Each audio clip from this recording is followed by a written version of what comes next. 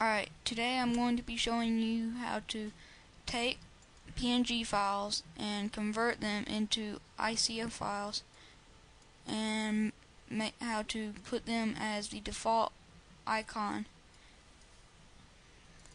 Now this is a Vista icon pack I downloaded. Um, here's the zip file. Notice it's 20, 256 by 256. We're going to reduce that down to 36 by 36. Um, you will need to have GIMP and Icon Packager. So just right click this, click Edit with GIMP.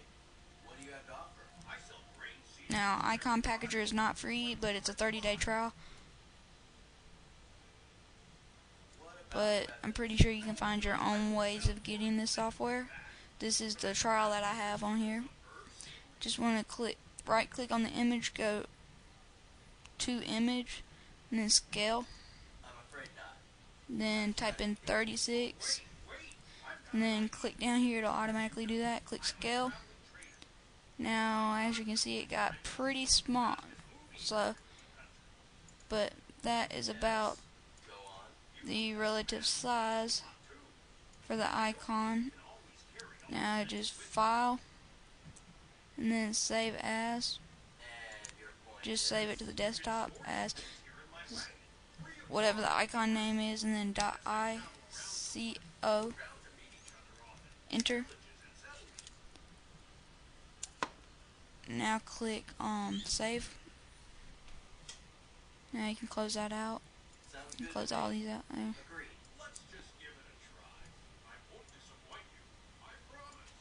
now here it is right here you can double uh, now we need to go into icon packager.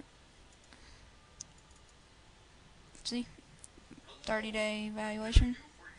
Now you want to click on icons and cursors and then click on files.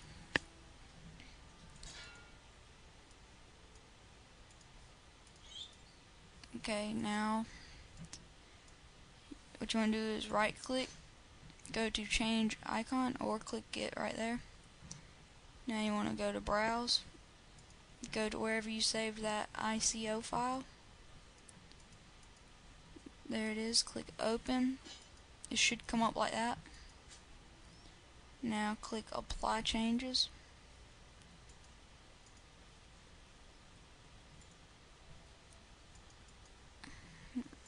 Now I'm going to create a new compress zip folder and notice it is the icon we just created. And there is the Vista zip icon on Windows XP